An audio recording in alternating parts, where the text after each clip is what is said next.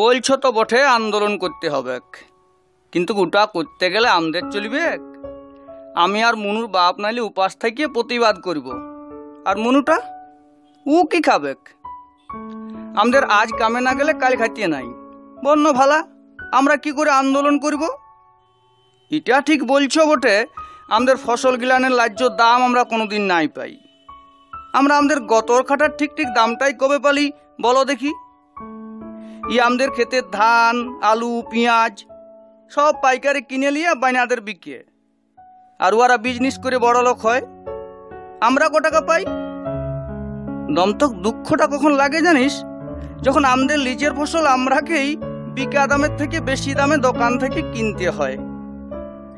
তোমরা বারবার একটাই কথা বলো, ভট আইলে ইয়ার জবাব দিয়ে দিবি। বলি, ভট আইলে আমরা কি হাড়াটা করে নিব? সরকার তো কোনো প্রধানমন্ত্রীর মুখ্যমন্ত্রী চালায়। ওটা তো চালায় বড় লোক গিলান। আমরা যাদের ঘরে দুয়ারে ঝি কামিনের কামকাজ করে কোনো মতে পেট ধাপাই।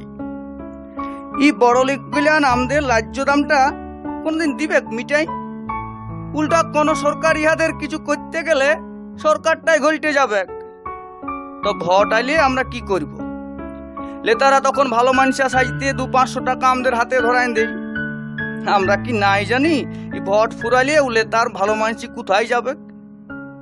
কিন্তু কি টাকাটা নিলেও তোদের মতন বুদ্ধিমানরা আমাদের বোকা চোদা বলবি?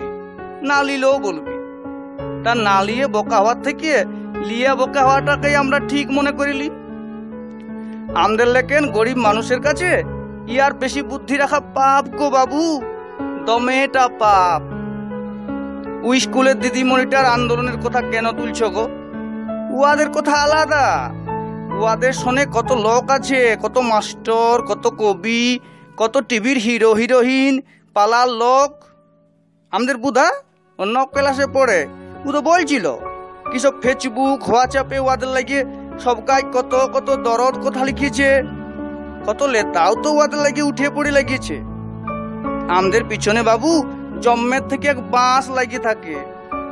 আমরা সোজা হয়ে দাঁড়াতে গেলেও আমরা সোজা হয়ে বসতে গেলেও বাসটা পাছায় ঢুকতে থাকে। বলছো তো বটে তোমরা লিজের বঞ্চনার প্রতিবাদ করতে, আন্দোলন করতে। কিন্তু বলো তো দেখি পাছাই বাঁশ নিয়ে কাহা তো আন্দোলন করা যায়?